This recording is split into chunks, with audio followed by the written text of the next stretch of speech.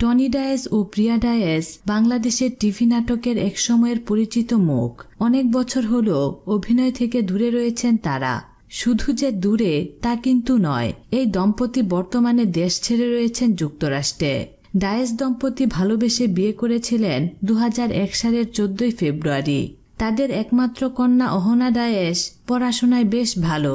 যেহেতু অহনার বাবা মা সংস্কৃতির সঙ্গে জড়িত, সেই সুবাদে তাদের কন্যা অহনা অনেকটাই সংস্কৃতি মনা হয়েছেন। মিডিয়া নিয়ে তার পড়াশোনা চলছে। পাশাপাশি বিভিন্ন সাংস্কৃতিক কর্মকাণ্ডের সঙ্গে যুক্ত। অহনার বয়স গত সেপ্টেম্বরে ষোলোতে পড়েছে। বাবা মায়ের সঙ্গে নানা ধরনের পার্টিতে উপস্থিত থাকতে দেখা যায় অহনাকে। তিনি যেন তার বাবা মায়ের মধ্যমণি। সুদূর আমেরিকা থেকে বিভিন্ন সময় তার সঙ্গে ছবি তুলে ফেসবুকে পোস্ট করেন বাবা টনি ডায়েস এবং মা প্রিয়া ডায়েস। তারই ধারাবাহিকতায় গত পাঁচই মে যুক্তরাষ্ট্রের নিউ ইয়র্ক থেকে মেয়েকে সঙ্গে নিয়ে নিজ ফেসবুক অ্যাকাউন্টে কিছু ছবি আপলোড করেন টনি ডায়েস। তেমন কোনো উৎসব ছিল না। শুধু পরিবারের সবাই মিলে নিউ ইয়র্কে তাদের বাড়ির সামনে কিছুক্ষণ হইচই করেছেন।